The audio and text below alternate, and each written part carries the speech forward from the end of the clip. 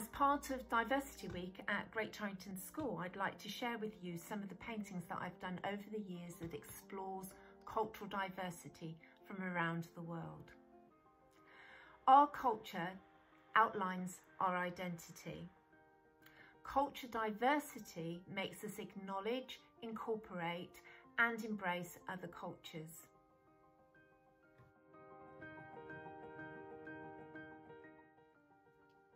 For as long as I can remember, I've always been captivated by people. From my very limited world travel, I have always been enchanted by faces.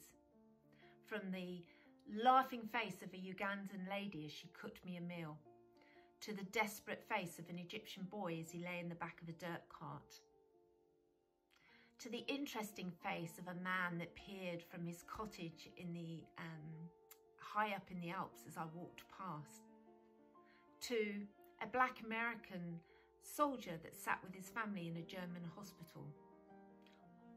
Our world is just full of the most amazing people and they have been an inspiration for many of my paintings.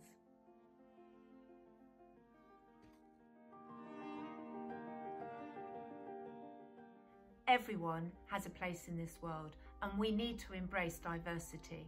As people move around from one place to another in search of better opportunities, we need to be less judgmental and we need to show compassion um, for our fellow citizens.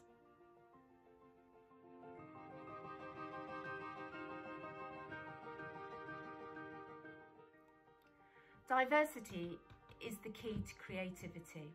Diversity is beautiful. Build your awareness, your empathy, your connections to create global citizens and be proud of who you are. So there's a few pieces of work that I've done over the years that explores different cultures. Art is a great way to express yourself and it's given me a great opportunity to find out more about people and the way in which they live and really embrace cultural diversity.